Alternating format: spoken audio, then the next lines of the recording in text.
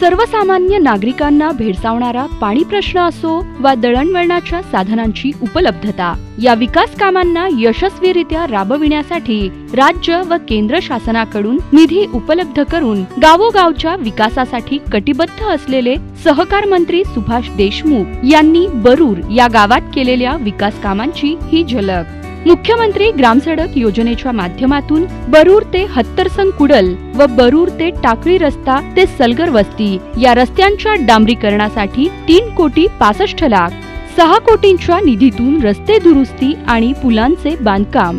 मी जवळजवळ आता अडीच वर्षापासून सरपंच आहे गावचा. प- पूर्वी रस्ता पाच वर्षापूर्वी खराब होता. येण्याजाण्यालाही त्रास होतो लोकांना. आता दोन अडीच दोन वर्ष झालं रस्ता एकदम टॉप झालं. त्यामुळे लोकांचं संगमेश्वर अ, देवळाकडे कल वाढला एकदम येण्याजाण्याचा त्यामुळे लोकांनासुद्धा आता त्रास होत नाही. पूर्वी त्रास म्हणजे काय? गाड्यासुद्धा चालत नंतर रोडवर येणे जाणे.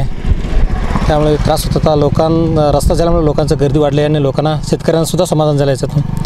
रस्त्यासाठी शेतकऱ्यांना ऊस घालवण्यासाठी लई त्रास होत होता मध्ये रस्त्यामुळे एकदम शेतकऱ्यांसुद्धा समाधान झालं आणि भाविकांनासुद्धा समाधान झालं रस्त्याबद्दल. बरूर येथील अंतर्गत रस्त्यांच्या सिमेंट कॉन्क्रिटीकरणासाठी एकोणतीस लाखांचा निधी. सुभाष देशमुख यांच्या स्थानिक आमदार विकास निधीतून बरूर ग्रामपंचायत जागेत व्यायामशाळा बांधण्यात आली असून मिनी हायमॅक्स पेवर ब्लॉक्स अशी विविध विकास कामे झाली आहेत. स्वच्छ सर्वेक्षण ग्रामीण या योजनेतही गावकऱ्यांनी आपला सहभाग नोंदवला आणि बरूर गावच्या प्रगतीच्या दिशेने एक पाऊल पुढे टाकले आहे.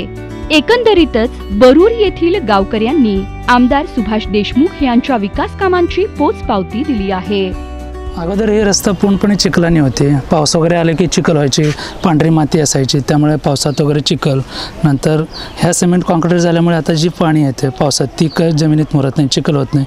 पाणी वाहून बाहेर जाते. रस्ता वगैरे कॉन्क्रीटमुळे चांगला झालेला आहे